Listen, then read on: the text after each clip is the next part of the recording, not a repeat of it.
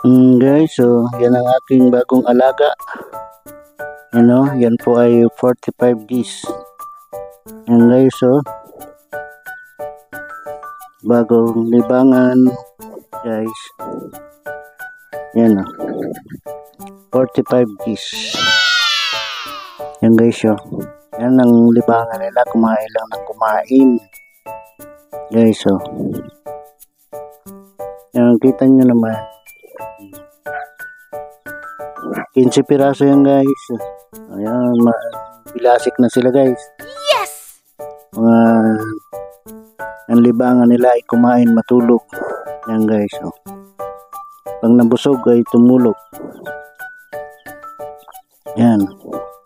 Pag tumutok-tok guys ay lumalapit sila. Yun o, magsisitakbuhan. Yan guys, ganyan pag mga malulusog ang sisi oh. Yan guys oh. Yan. Yan ang libangan nila. Kumain ng kumain guys.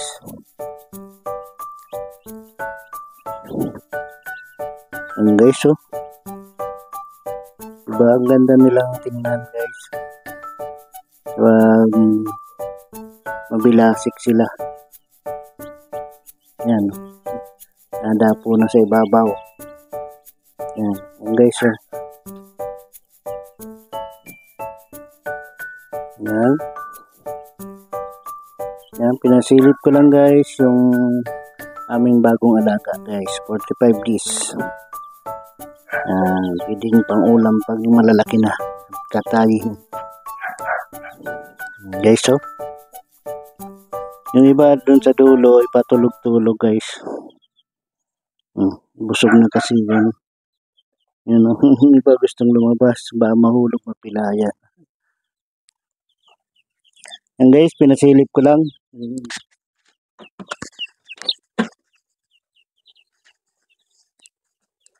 Pinasilip ko lang guys. Ang aming alaga. Ha? Yan guys, oh. Hanggang dito na lang po muna.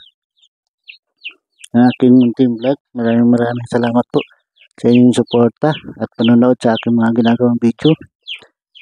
Mag-iingat po kayo lagi. Saan man po kayo nandoon. At huwag niyo pong kalimutan mag-like and share and subscribe na rin po. At pakipindot na rin po ang ating notification bell para po updated po kayo sa aking mga ginagawang video. Hanggang dito na lang po ang aking munting vlog. Bye-bye. Ingat kayo palagi. Jesus love you po. Bye-bye.